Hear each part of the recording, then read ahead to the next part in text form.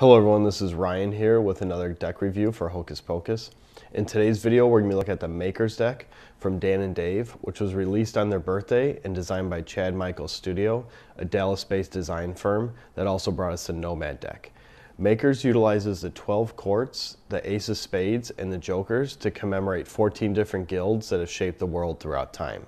They use consistent line work and even spacing throughout the tuck box, the card backs, and the card faces to tie the whole design together. Let's start off with a closer look at the box. The tuck case starts with a deep matte green stock and is embossed on five of the six sides before being stamped with two different tones of gold foil over the majority of the tuck. The front of the box frames the deck's name and includes clear and easy to read descriptions of the product, along with the Buck Brothers and Company moniker. A segmented box border frames the front while even scrollwork and patterns fill the empty spaces. The two sides list the companies responsible for the deck's design and distribution. The back of the tuck features a mirrored design centered on a lighter gold foil globe image. Opposing swords pierce the center, and Order of Makers is expressed in a banner top and bottom. The same frame and scrollwork motif from the front fills the back of the tuck. The design is the exact same as the card backs except in scale and use of foil.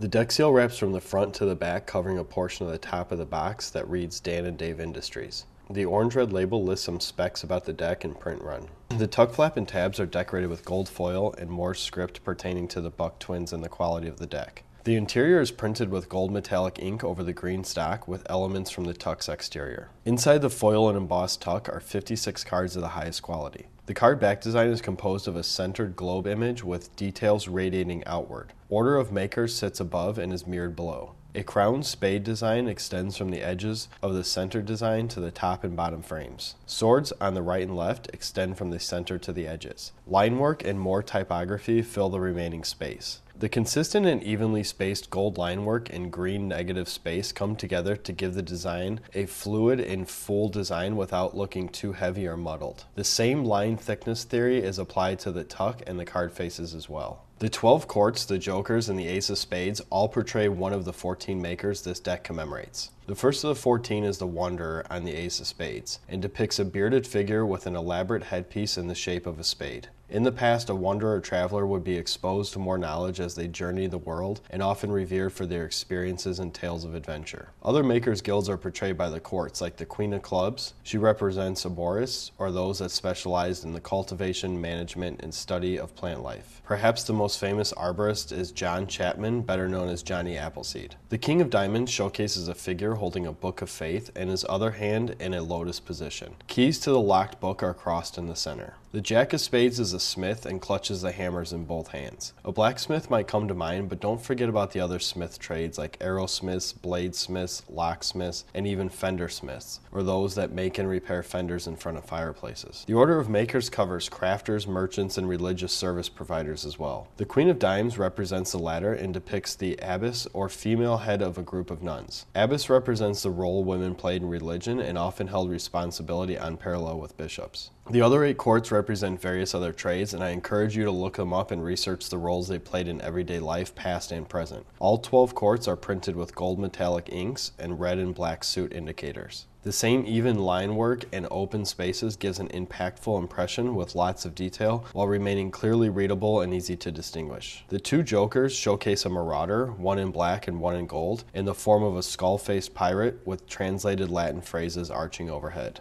Although thievery and piracy may not be the most honorable trades, marauding was one of the most common peasant reactions to oppression and hardships of the ruling class, often out of necessity or simply just to survive. The number cards in remaining three aces all feature stylized pips and pip placement. As with the tuck, card backs, and courts, the consistent line width design ties the card faces to the rest of the deck. The card faces, whether courts or numbers, have a consistent feel and fluid theme that carries across. The last two cards are advertisement or cut cards for the Dan and Dave and Art of Play brands. The solid green and solid gold cards tribute the two major colors used in this deck. USPCC printed this deck on their crushed stock, giving the cards a light and thin feel, while still remaining snappy and durable under heavy use. The borders are pretty even and medium in width. A nice even spread will show slivers of green and gold contrasting against the white. Makers was released on the twins' birthday and is a fitting tribute to the Buck twins and their contribution to the craft.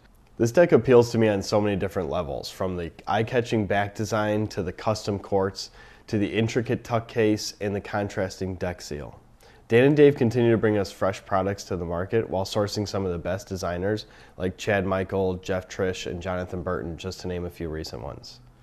There, you could definitely tell there's an emphasis on intricate packaging and attention to detail on every level without sacrificing the quality or the handling of the cards themselves.